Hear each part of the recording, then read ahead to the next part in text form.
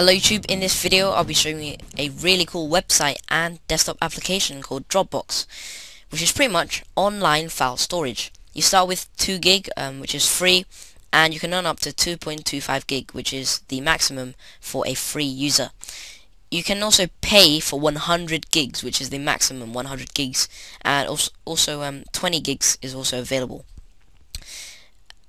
you start with 2 gigs and then by doing a few of these tasks tasks that it gives you um, you can earn up to up to 2.25 gigs which is um, great.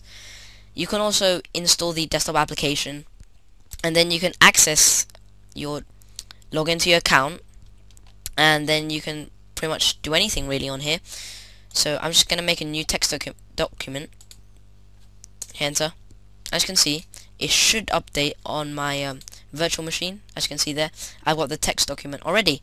So that's how quick and easy it is. Um, if it's a bigger file it will take longer to upload but because it's a text document with no kilobytes in it anyway it takes that you know just one second to upload which is you know great.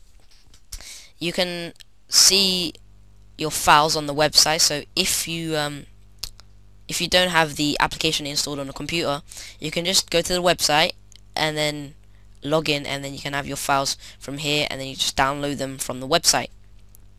Another thing that I like is the recent events. So you pretty much can see what's happening um, with your account. As you can see I've done a few takes of this video but it's really easy to use um, Dropbox and I, I really love the recent events.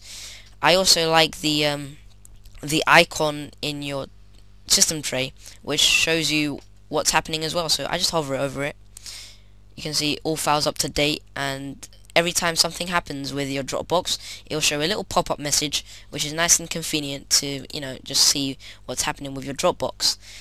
A link to Dropbox will be in the video description and uh, please comment, rate and subscribe if you like my videos and thanks again